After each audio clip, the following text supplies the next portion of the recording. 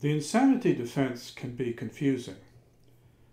The McNaughton rule requires the defendant to show that because of mental illness, the defendant either did not know what he was doing, or if he did, that he did not know it was wrong. How could the defendant be convicted anyway if he did not know what he was doing? The Model Penal Code commentary gives this example.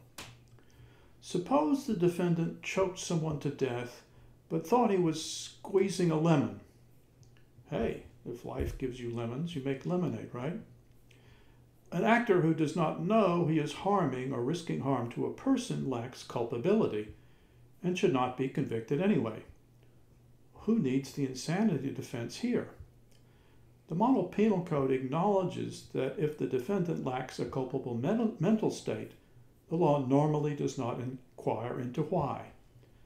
Therefore, we need to take care to note the difference between negating culpability and excluding responsibility. Evidence of mental disease can be relevant in either or both of these two ways. It might negate culpability, as when the defendant perceived a lemon rather than a human. Or it might exclude responsibility, as when a defendant knows what he's doing but is incapable of knowing it is wrong to do it. Evidence that the defendant suffered from a mental disease or defect is admissible whenever it is relevant to prove that the defendant did or did not have a state of mind which is an element of the offense.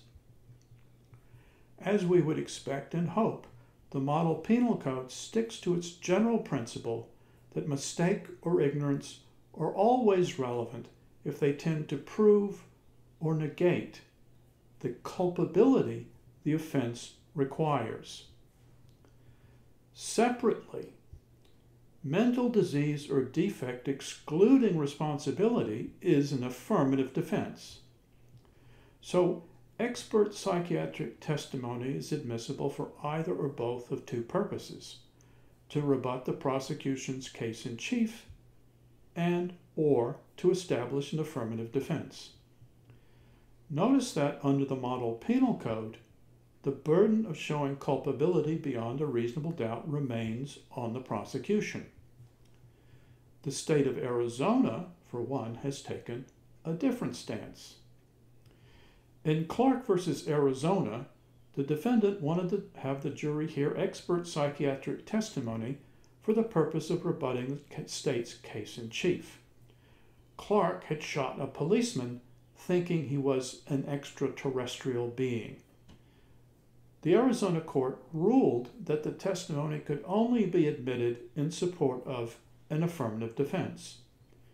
Clark appealed to the U.S. Supreme Court.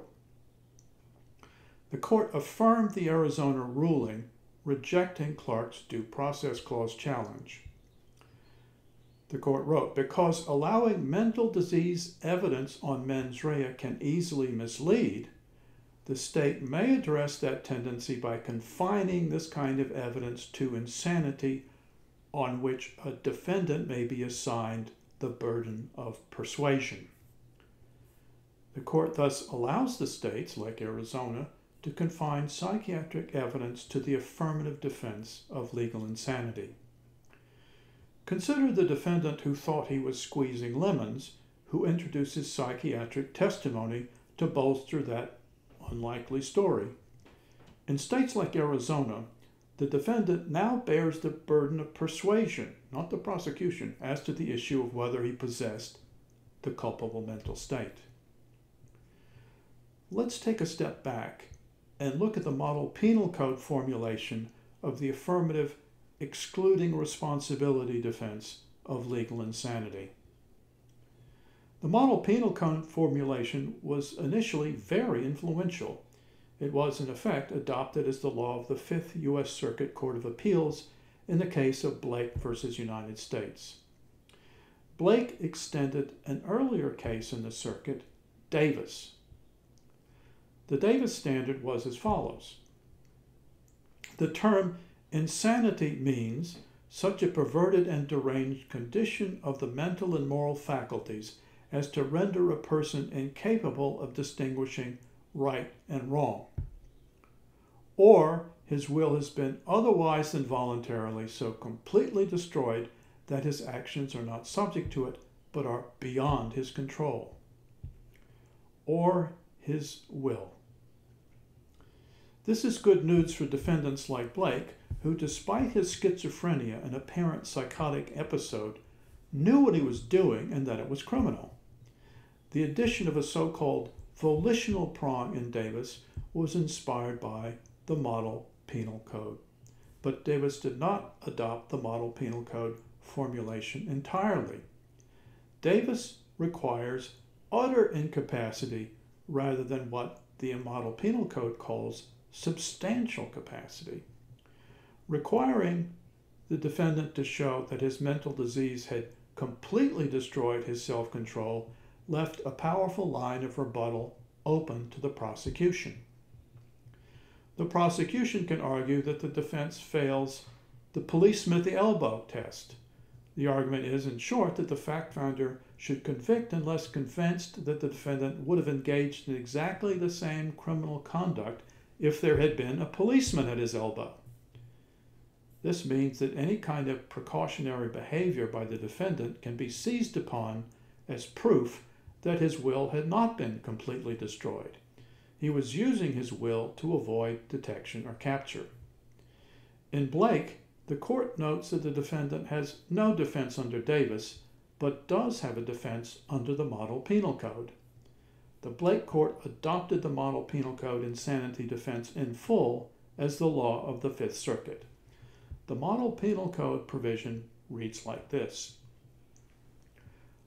A person is not responsible for criminal conduct if at the time, as a result of mental disease or defect, he lacks substantial capacity either to appreciate the criminality of such conduct or to conform his conduct to the requirements of law. Even an actor whose will has not been completely destroyed may yet lack substantial capacity to control himself. The adoption of the standard of substantial capacity may well be the Code's most significant alteration. What difference does the word substantial make? Well, it means measured substantial measured by the standard of humanity in general as opposed to the most severe afflictions of the mind. Think of it this way the standard of humanity in general means playing with a full deck. Some of us might be missing the four clubs or something, but you know what I mean. Lacking substantial capacity means not playing with a full deck, being more than a card or two short. Not necessarily as bad as the most severe impairments. It's a mean between two extremes. Here's another example. The English artist Louis Wain suffered progressive schizophrenia and ultimately psychosis. Degrees of impairment are recognized by the Model Penal Code, but traditional tests like Davis require utter or extreme dissociation. Suppose Wain is charged with animal cruelty. At what point in his descent would he cease to be responsible?